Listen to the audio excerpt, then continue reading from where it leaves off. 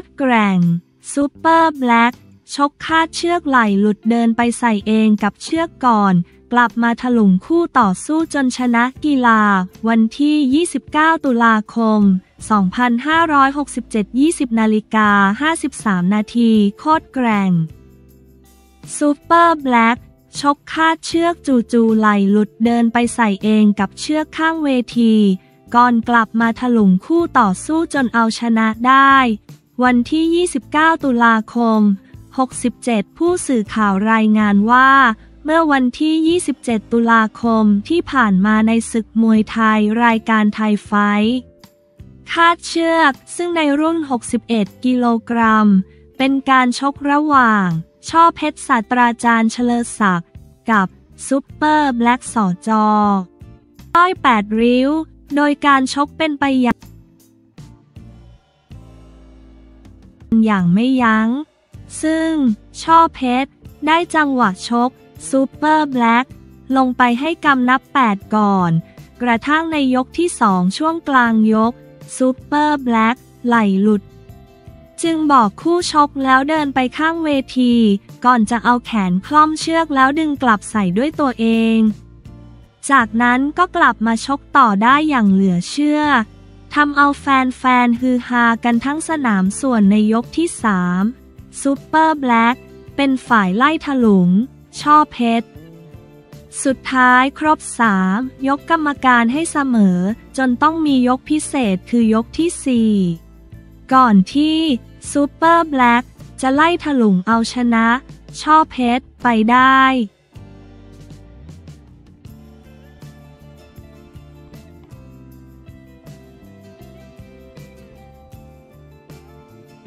นายกรัฐมนตรี แจ้งตอบสภาไปแล้วก่อน ธนาธรร่อนจอ มอเปิดผนึกปมสัมปทานรับซื้อพลังงาน การเมืองวันที่ 29 ตุลาคม 2567 13นาฬิกา 41 นาทีนายกรัฐมนตรีแจงพีรพันธ์ ตอบกระทู้ในสภาไปแล้วก่อน ธนาธรส่งจดหมายเปิดผนึกจี้ทบทวนออกสัมปทานรับซื้อพลังงานหมุนเวียน ยันโปร่งใสยินดีให้ตรวจสอบเมื่อเวลา 12 นาฬิกา 10 นาที วันที่ 29 ตุลาคม 2567 ที่ทำเนียบรัฐบาล นางสาวแพทองทาน ชินวัตรนายกรัฐมนตรี ให้สัมภาษณ์กรณีนายธนาธรจึงรุ่งเรืองกิจ ประธานคณะก้าวหน้าเผยแพร่ จดหมายถึงนายกรัฐมนตรี เรียกร้องให้ทบทวนการออกสัมปทานรับซื้อพลังงานหมุนเวียน ว่า รายละเอียดเรื่องนี้ในฐานะที่ตนเป็นประธานคณะกรรมการนโยบายพลังงานแห่งชาติ กพช เรื่องนี้ยังมาไม่ถึงแต่ได้สอบถามและพูดคุยกับนายพีรพันธ์ สาลีรัฐวิภาค รองนายกรัฐมนตรี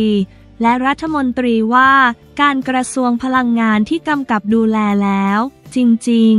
ๆ ก่อนที่นายธนาธรจะออกมาพูดได้ มีการตอบคำถามเรื่องนี้ในสภาแล้ว จากการตั้งกระทู้ถาม คิดว่าประชาชนและสื่อมวลชนหาข้อมูลตรงนั้นได้อย่างละเอียด อย่างไรก็ตามทุกอย่างมีกระบวนการของมันอยู่แล้ว นายกรัฐมนตรีกล่าว ผู้สื่อข่าวถามว่า ยืนยันเรื่องนี้จะโปร่งใส ไม่มีการเอื้อประโยชน์นายทุนใช่หรือไม่ นายกรัฐมนตรีกล่าวว่าแน่นอนเรื่องนี้จะต้องโปร่งใสเมื่อถามว่า ยินดีให้ตรวจสอบหรือไม่ นายกรัฐมนตรีกล่าวและได้ยินจากรองนายกรัฐมนตรี ว่าเรื่องนี้ต้องเป็นไปตามกระบวนการและต้องโปร่งใส ให้ประชาชนสามารถรับรู้และเข้าใจได้อย่างแน่นอน เพราะนั่นคือความมั่นคงของรัฐบาลด้วย ธนาธรออกจอมอเปิดผนึกถึงนายกรัฐมนตรีอิง ทบทวนออกสัมปทานรับซื้อพลังงานหมุนเวียน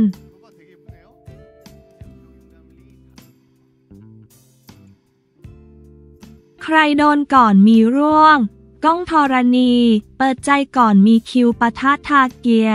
ศึกวัน 169 กีฬา วันที่ 29 ตุลาคม 2567 14นาฬิกา51 นาที ก้องธรณีเปิดประตูค่ายสอ สมหมาย โชว์ความพร้อมก่อนขึ้นสังเวียนใหญ่ปะทะฝีมือกับทาเกียคาลิลอฟ เปิดใจหนนี้ต้องได้ชกชี้ใคร โดนก่อนมีร่วงแน่เมื่อวันที่ 28 ตุลาคมที่ผ่านมา ก้องธรณีสอ สมหมาย มวยซ้ายเฉียบคมวัย 27 ปี จากเพชรบูรณ์ เปิดประตูค่ายสอ สมหมาย โชว์ความพร้อมก่อนขึ้นสังเวียนใหญ่ปะทะฝีมือกับ ทาเกียคาลิลอฟ นักสู้ speed จัด วัย 30 ปี จากรัสเซีย ในกติกามวยไทยรุ่นฟลายเวท 125 ถึง 135 ปอนด์ ศึก ONE 169 ที่จะจัดขึ้นที่สนามมวยเวทีลุมพินี รามอินทรา ในช่วง prime time อเมริกา ซึ่งตรงกับเวลา 8 นาฬิกา วันเสาร์ที่วันที่ 9 พฤศจิกายนนี้ เมื่อวันที่ 28 ตุลาคมที่ผ่านมา ก้องธรณีสอ สมหมาย มวยซ้าย เฉียบคมวัย 27 ปีจากเพชรบูรณ์ ได้เปิดประตูค่ายสอ สมหมาย โชว์เนื้อตัวล่าสุด ให้บรรดาสื่อมวลชนได้เก็บภาพ รวมทั้งให้สัมภาษณ์เปิดใจถึงความพร้อมก่อนขึ้นสังเวียนในช่วงต้นเดือนพฤศจิกายนนี้สำหรับไฟนี้ ก้องธรณี จะต้องวัดชั้นกับ ทาเกีย นักสู้ความเร็วสูงจากรัสเซียที่นับตั้งแต่มาชกวันเมื่อเดือนกพ 64 เจ้าตัวเคยปราบนักชกไทยมาแล้วสามราย และยังเคยได้ปะทะกับสองนักสู้หัวกะทิของรุ่นนี้มาแล้วอย่าง รถถังจิตเมืองนนแชมป์โลกวันมวยไทยรุ่นฟลายเวท และซุปเปอร์เล็กเกียรติหมู่เก้าแชมป์โลกวันคิกบ็อกซิ่งรุ่นฟลายเวท และมวยไทยรุ่นแบนตัมเวท 135 ถึง 145 ปอ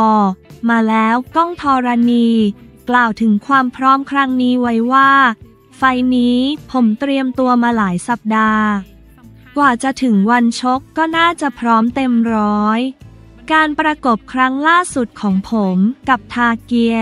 วันนั้นที่ไม่ได้ชกกันเป็นเพราะทั้งผม และเขามีข้อผิดพลาดเรื่องค่าน้ำเลยทำให้ไม่ได้ชกกันไฟนี้ ประกบขึ้นมาเจอกันอีกครั้ง ผมมั่นใจ 100%เปอร์เซ็นต์ หนนี้ผมตั้งใจมากที่จะได้ปะทะกับเขา ครั้งนี้ ผมพกอาวุธมาเต็มที่เน้นหมัด เน้นศอกความหนักความเร็วมาเป็นพิเศษ ผมคิดว่าศึกครั้งนี้ ใครโดนก่อนก็ต้องมีร่วงผมเอง ก็อยากจะเป็นผู้ชนะเหมือนกัน โอกาสชนะมีแน่นอนตอนนี้ไม่มีเรื่องอะไรต้องกังวลแล้ว พร้อมชกแล้วครับ